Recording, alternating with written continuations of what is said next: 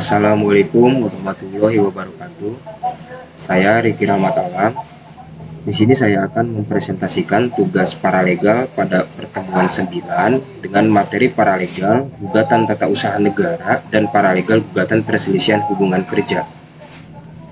Dasar-dasar hukum kasasi di Mahkamah Agung dalam pasal 55 ayat 1 Undang-Undang Nomor 14 Tahun 1985 tentang Mahkamah Agung menjelaskan pemeriksaan kasasi untuk perkara yang diputus oleh pengadilan di lingkungan peradilan agama atau yang diputus oleh pengadilan di lingkungan peradilan tata usaha negara dilakukan menurut ketentuan undang-undang ini.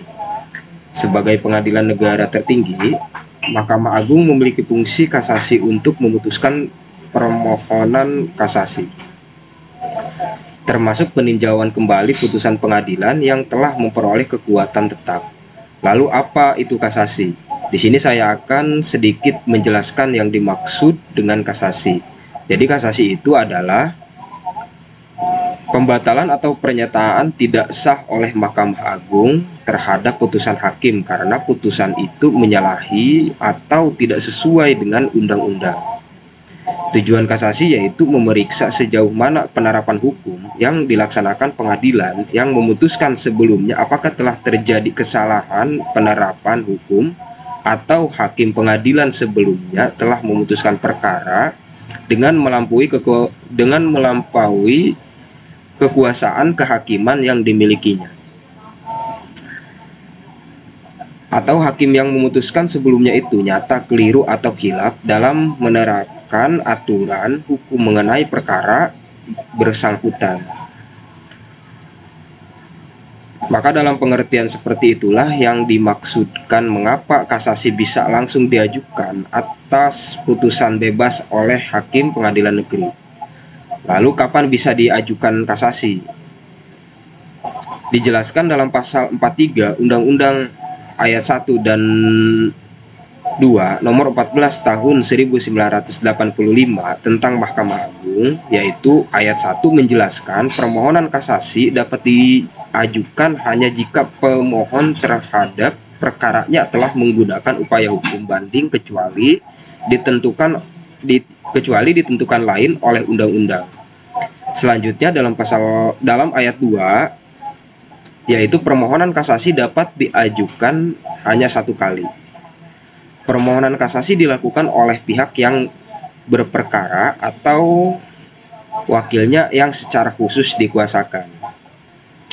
Jangka waktu kasasi paling lambat 14 hari dihitung sejak putusan dibacakan dalam sidang. Bagi pihak yang tidak hadir, terhitung sejak tanggal pemberitahuan putusan. Lalu selanjutnya peninjauan kembali.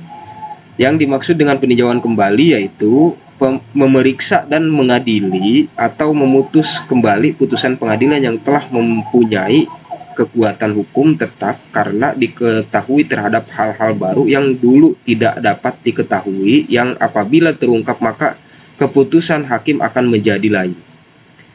Mengapa harus dilakukan peninjauan kembali? Ada beberapa alasan dilakukan peninjauan kembali yaitu apabila putusan didasarkan pada suatu kebohongan atau tipu muslihat pihak lawan yang diketahui setelah perkara put perkaranya diputus atau didasarkan pada bukti-bukti kemudian oleh hakim dinyatakan palsu. Itu salah satunya.